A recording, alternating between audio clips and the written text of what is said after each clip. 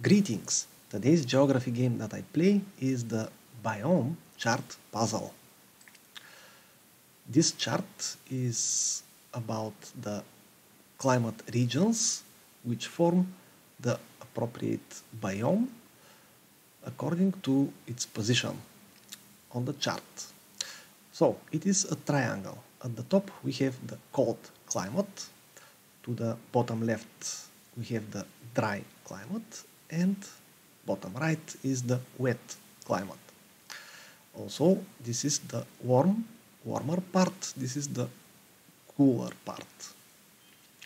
So I will begin from the top to bottom, where in the most cold region we have the polar biome. If I go on the more warmer part this should be the tundra. Right and after the tundra is the boreal forest or this is pine forests which like the cold. Now from here I have to move either to the left where is the dry climate or to the right where is the wet climate. If I sort the, this uh, left uh, part of the triangle. That should be the desert the dry desert which is the most warm and dry place. And if I go a little to the north this is the cold desert. Now I will place the warmer parts. So if from warm we go to wet that should be first is the desert then is the savanna after that is the deciduous forests. And the most wet part is the tropical rainforest forests.